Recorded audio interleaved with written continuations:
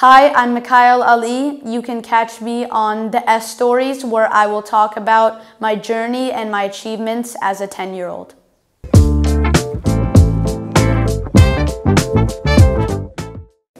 Assalamu alaikum everyone. Welcome to yet again another edition of the S Stories right here on Sophiya Anjam's official YouTube channel. Of course, with our tagline called Keep the Spirit Alive. Now, today I'm very excited. I had this bundle of energy in the studios of the S Stories today. And you know, yesterday um, while I was making, you know, some points and I was jotting down some points down, I was like, when I was 10 years old, what was I doing? And then I thought about it. I was like, okay, so I was watching cartoons, I was reading books. I was talking to my friends. I was strolling in the park. I was playing games. I mean, sure, that was great, but I wasn't really competing in international championships. Or I wasn't really talking to other students or other kids my age and giving them a message of hope, positivity, unity, determination. So, ladies and gentlemen, and boys and girls out there, today in the studios of the S Stories, we have a prodigy. Okay, now let me tell you something about him as well. So, his name is Mikaeel Ali, okay, and he's popularly known as Mika. He is a 10 year old multi-dimensional individual living in the US, having roots in Pakistan. Now, take a listen very carefully. He is a dreamer.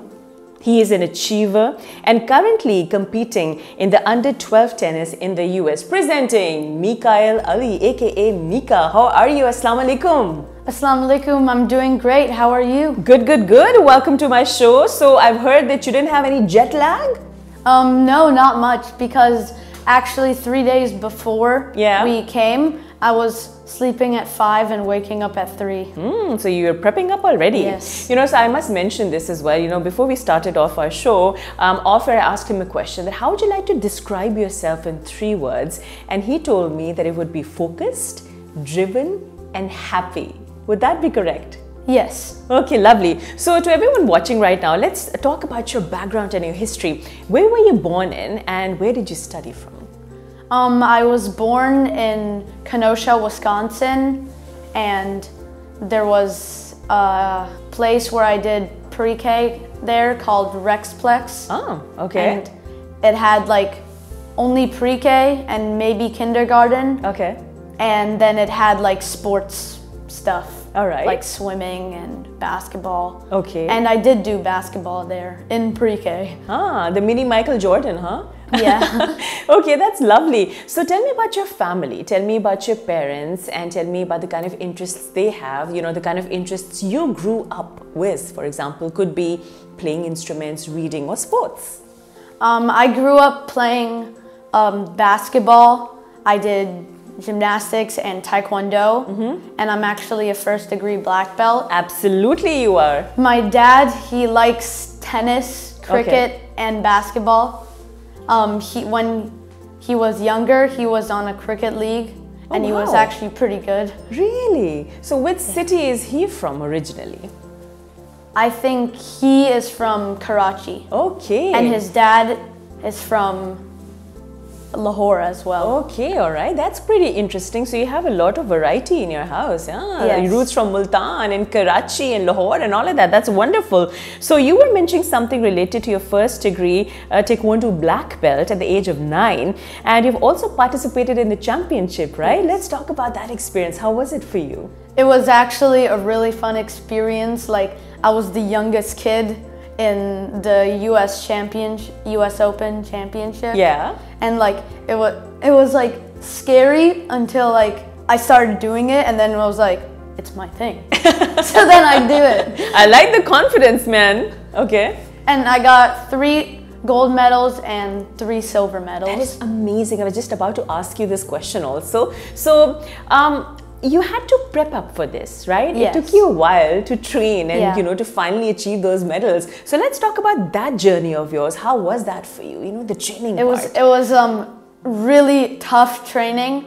My dad usually didn't come see my taekwondo training, but one time he came to watch, and uh, if um, Mia and my friend we had one routine together and we had to be in sync with everything. Yeah. Every time we weren't in sync, we had to do push-ups on the knuckles, and we both our, our both of our knuckles were like red. Bruised. I know. And then uh, we were both crying a little bit, Aw. and my dad said to pull me out, but then I said no, and then I did really well in the U.S. That's amazing. So, Okay. as they say, no pain, no gain, right? Yeah. You got to work for it. You know, Yeah. again, ladies and gentlemen, as I was mentioning earlier on as well, when I was like 10 years old or 9 years old for that matter, when this was happening, I was watching cartoons and being happy with watching Tom and Jerry chasing each other, you know, and trying to kill themselves also. Okay, so now let's come to cartoons now, okay? Hey, cartoons are not that bad. Come Yeah, on. not. Everyone loves watching cartoons. What do you love watching on TV? Um, I have seen Tom and Jerry a few times. Okay. Um, on Disney Channel, they have this cartoon called Big City Greens. I like to watch that. What's it about though? It's about these. There's a dad, Okay. and then there's two children.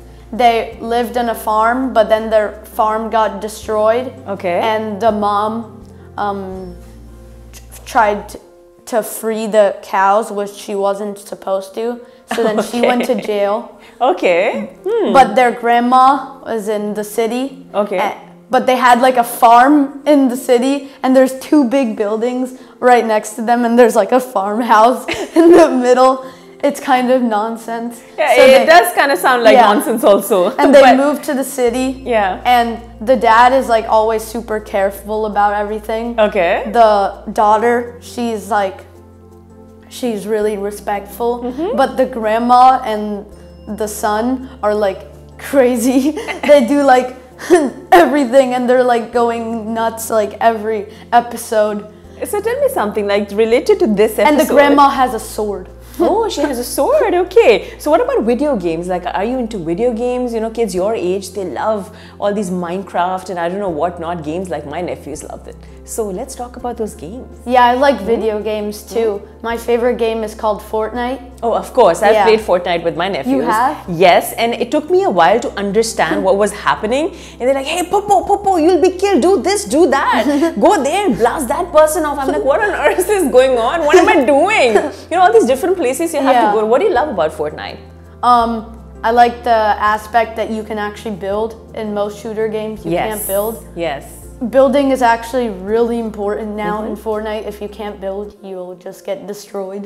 Mm, absolutely. So Yeah. we got a lot of tips from the maestro himself. Now let's come to some interesting uh, things in your life. Again, you know, at such a young age, um, there's something else that I was reading about that you are also a former competitive gymnast and you have won awards in gymnastic competitions as well. Yes. So let's talk about that journey of yours. Must have been interesting, huh? Yeah, I just remember the monkey bar. That's not. I know, that's what I'm saying. gymnastics.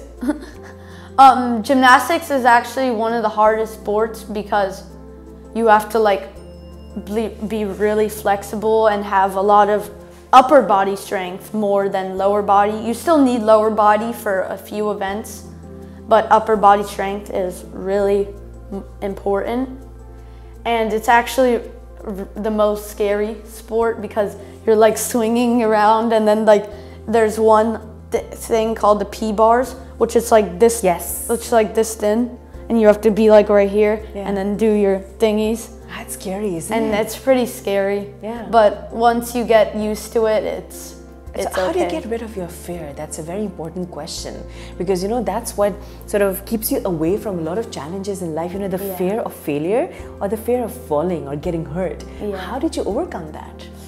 I've I wasn't afraid of much Mm-hmm. because I like to take risks, but over there they like in gymnastics they put like a mat so if you fall Yeah. you're on the mat so they do it you make you do it on the mat first so you're not scared Right. and then you do it and it's like all fine Okay. but if you just do it without the mat at first it will be so scary Yeah. it will yeah. be like let's just go for it Okay, yes, I absolutely understand what you're talking about. Now let's come to my favorite part of this interview, which is tennis. Okay, so I was Yes. following you on the social media platforms. Actually, I was stalking him on the social media platforms, and I was checking were out. of- yeah, I was definitely stalking you. so I saw you interviewing Haq Qureshi and doing your sing and tennis and all of that. You training and all of that. So let's talk about your journey as a tennis player. Yes. Upcoming tennis player. Yes.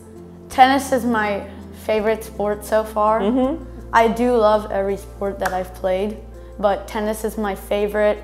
Um, I love moving Yeah. around and having like swinging and like hitting the ball on the other side and Yeah. trying to make your opponent run. and your dad loves But tennis as yes, well, right? he That's does what you play mentioned.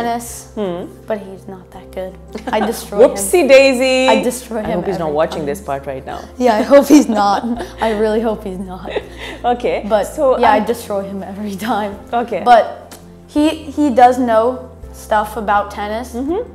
He is more He has good strategies okay. more than technique. All right. His technique is horrible, but he has very good strategies All right. to okay. win. Sure. But in tennis, you also need to do fitness training Mm-hmm. because if you just play tennis, it won't help. help it w- will help you, but you need to do tennis and fitness Yeah. to work on your strength and Yes. agility. So I've recently started doing fitness twice a week. Okay. And that's been helping me a lot. Yes, I was watching your videos online. You've been training, and that's wonderful. Yeah. So, how do you envision yourself in the tennis field, say, in the next 10 to 20 years? Yeah?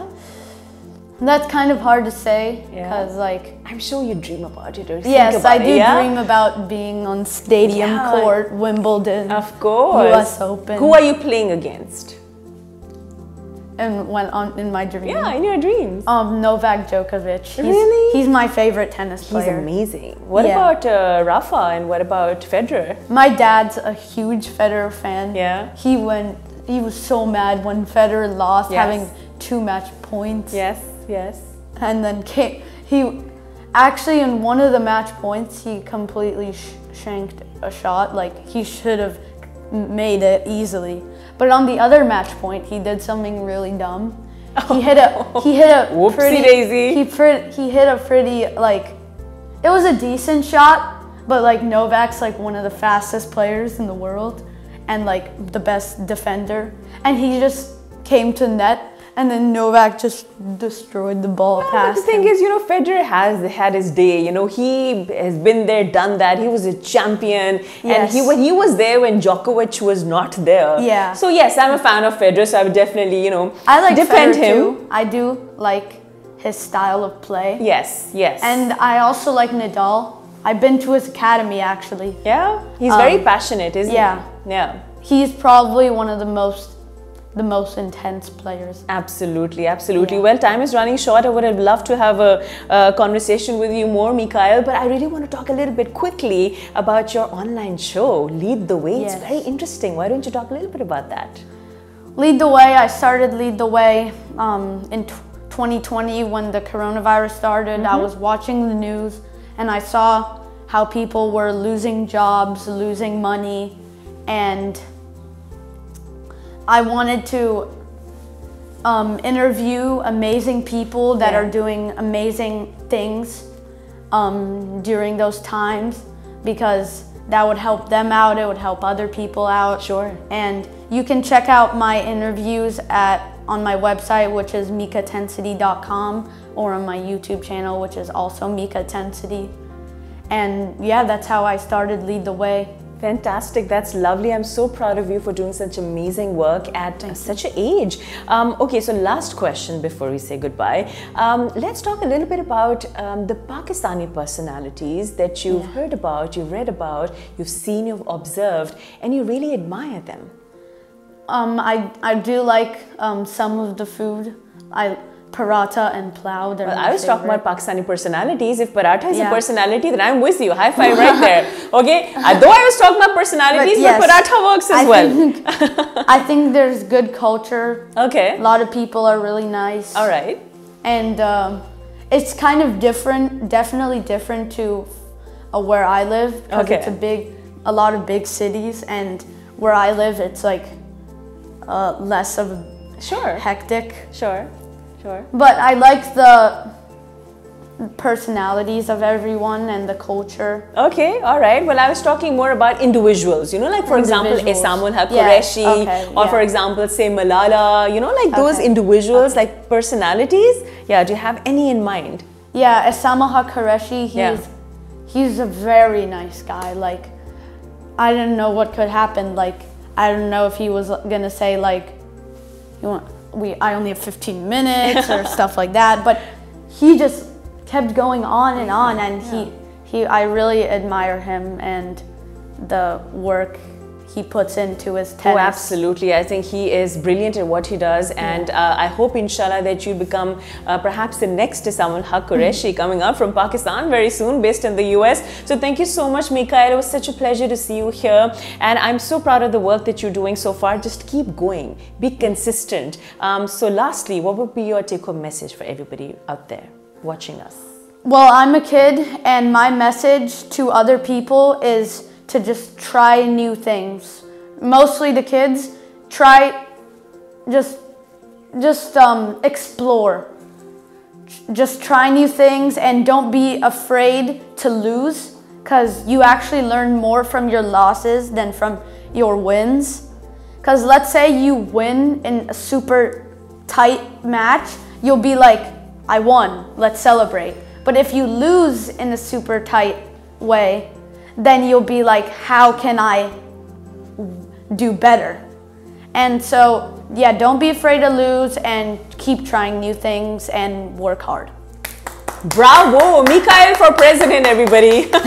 well, thank you so much, Mikaeel, and thank you so much for watching this episode of the S Stories. And I think I would also like to give a shout out to his parents because I feel that it's very important for us to realize that um, every kid is different. Every kid has uh, his or her own unique qualities. And I feel that when we pinpoint or when we sort of um, understand the strengths of our kids, I think we really need to nurture them and we need to cushion that forward as well. So a good support system is very important. So on that note, take good care of yourselves and remember that don't just wait for an opportunity, create it. Have a great time. Catch you guys next week. Bye-bye.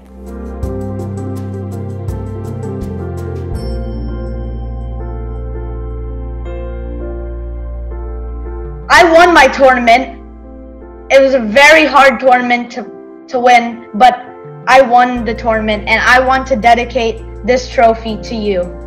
No, man, that's super, super sweet of you. First of all, congratulations on winning the title and uh, very kind of you and very sweet of you to dedicate it to me. Mario, at what age did you start to do gymnastics?